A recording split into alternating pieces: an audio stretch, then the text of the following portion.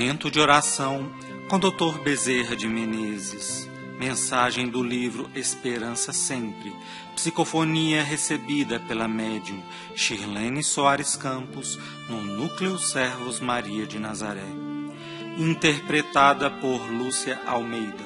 Música executada pelo violonista Ranieri Guimarães.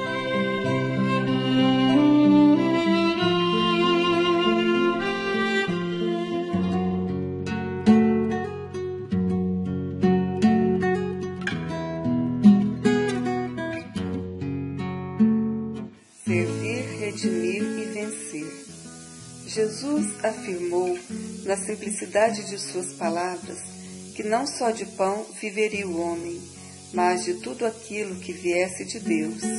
Jesus era o próprio alimento para as almas entorpecidas, pela dor, pela revolta, esmagadas na própria terra pelo poder dominador.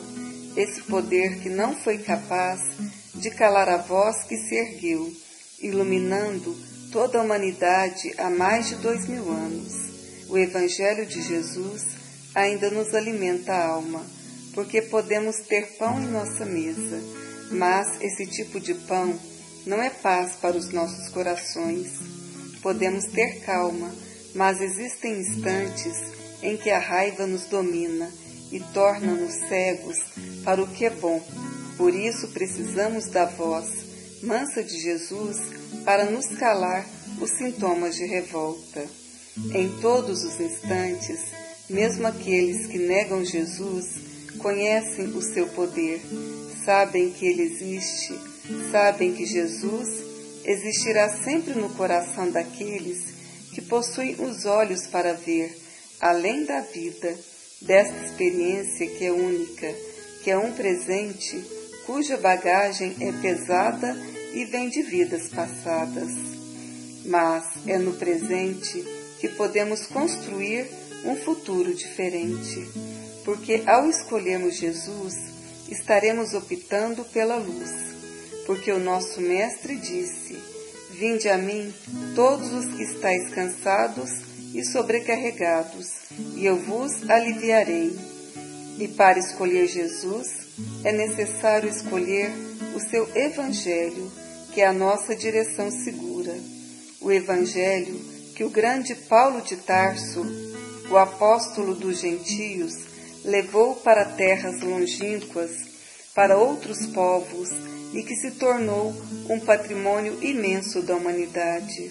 O Evangelho é fonte de vida e esperança, onde os poderosos, os reis, os imperadores, os mendigos, os sofredores, e os simples de coração se alimentam, adquirem forças para se reerguerem, a força que acalenta, que faz a nossa dor adormecer, que nos mostra o caminho, que representa o caminho seguro, porque a verdadeira vida está no sentido que damos ao nosso viver.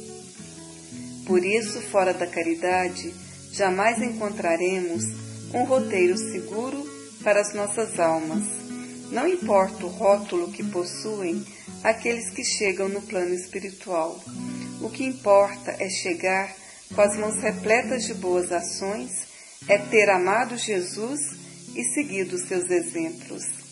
Na terra, precisamos pertencer a um país, sermos patriotas, custe o que custar, mas no campo do espírito, somos todos irmãos e filhos de Deus.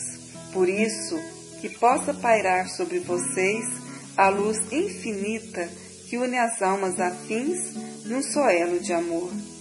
Que vocês possam buscar os objetivos superiores para viver no bem e poderem resgatar seus débitos, porque a terra não é um berço de felicidades e de alegrias, mas podemos ter alegria e felicidade se sentirmos que somos capazes de nos renovarmos e, junto com Jesus, ajudarmos aqueles que sofrem mais do que nós, porque o nosso principal objetivo na Terra é servirmos, redimirmos-nos e vencermos.